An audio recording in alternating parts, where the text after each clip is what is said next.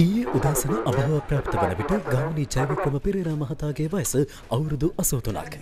දේහය පිළිබඳ අවසන් කටයුතු ලබන අඟහරුවාදා පන්නල මහජන ක්‍රඩාංගණයේදී සිදු කිරීමට නියමිතයි.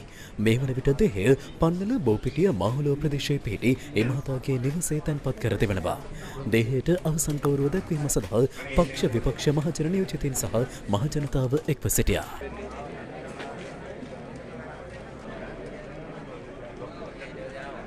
ඇත්ත කෙටියෙන් දත්ත වැඩියෙන් සයිබ අවකාශය කළඹන වුවත් සලකුණ නිවස් ෆර්ස්ට් YouTube චැනලය අදම සබස්ක්‍රයිබ් කරන්න. නිවස් ෆර්ස්ට් ජනතාව සමඟ